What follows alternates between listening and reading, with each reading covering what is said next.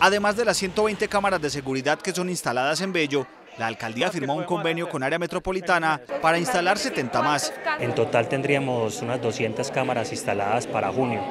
Esto es un compromiso que se tiene con la comunidad y así estaremos trabajando día a día para cumplirlo. La inversión en los equipos supera los 4.500 millones de pesos. Más de 34 kilómetros de fibra óptica y postes son instalados en los puntos considerados críticos en ese municipio. Ya estamos en la instalación, ya contamos algunos lugares con las cámaras, como en el sector de Soya, el sector de Cabañas.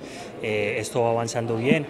El centro de monitoreo del nuevo sistema de seguridad en Bello estará ubicado en el comando de policía.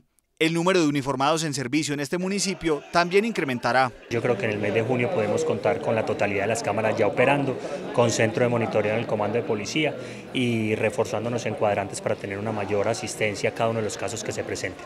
Antes de que finalice el 2017, la administración municipal prevé poner en operación una base de carabineros en el Cerro Quitasol con el propósito de mejorar la seguridad del área rural de Bello.